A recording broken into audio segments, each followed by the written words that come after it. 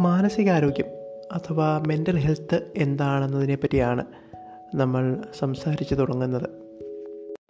മാനസിക രോഗങ്ങൾ ഇല്ലാത്ത ഒരവസ്ഥ മാത്രമല്ല മാനസികാരോഗ്യം എന്നതാണ് ആദ്യം അറിയേണ്ട വസ്തുത. മാനസിക രോഗങ്ങൾ ഇല്ലാതിരിക്കുക എന്നതിനോടൊപ്പം തന്നെ ഓരോ വ്യക്തിക്കും തൃപ്തികരമായ രീതിയിൽ ചിന്തിക്കുവാനും വികാരങ്ങൾ പ്രകടിപ്പിക്കുവാനും പെരുമാറാനും കഴിയുന്നുണ്ടോ എന്നത് കൂടിയാണ് മാനസികാരോഗ്യം. മാനസികാരോഗ്യത്തിന് നമ്മുടെ നിത്യജീവിതവുമായും മറ്റു മനുഷ്യരുമായി നമ്മൾ ഉണ്ടാക്കുന്ന ബന്ധങ്ങളുമായും നമ്മുടെ ശാരീരിക ആരോഗ്യവുമായും ഒക്കെ വളരെ അടുത്ത ബന്ധമാണുള്ളത്.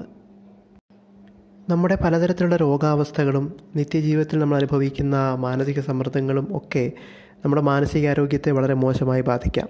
ഇത് നേരെ തിരിച്ചുമാകാം. മാനസികാരോഗ്യം മോശമായിരുന്നാൽ നമുക്ക് അനുഭവിക്കുന്ന രോഗങ്ങളുടെ കാഠിന്യവും തീവ്രതയും ഒക്കെ കൂടാം.